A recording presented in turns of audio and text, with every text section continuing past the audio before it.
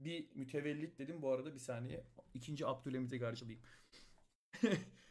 Yani kelimenin özelinde değil.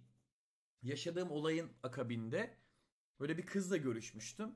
İşte neyse e, her şey yolunda gitti falan böyle işte yakınlaştık birlikte olduk falan. Daha da yaşım be kaç 20 23 falan herhalde. Ee, ondan sonra ben böyle bir salak panik havasına girdim şey olarak.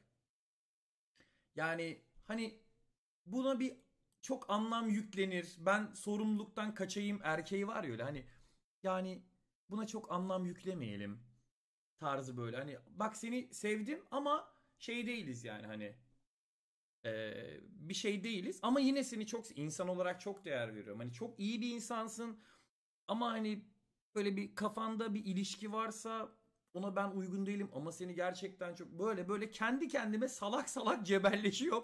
Kız bir an böyle tuttu. Böyle avuçlarının al, arasına aldı beni böyle. Bir tanem sen niye kendini bu kadar önemsedin dedi. Bak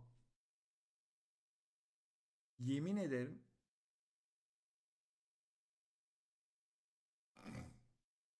hani böyle gırtlağımdan çıktı yani. Midemde hissettim yani hakikaten. Hak ettim ama. Hiçbir şey demedim üstüne. Hakikaten lan dedim ben. Ben dedim ne yapıyorum ama ne? Kendi kendime dedim. Kendi kendime kuruluyorum ya. İşte ama oluyor abi. Hani ben fazla düşüncelilik yaptım da abla sallamadı ki zaten beni ya.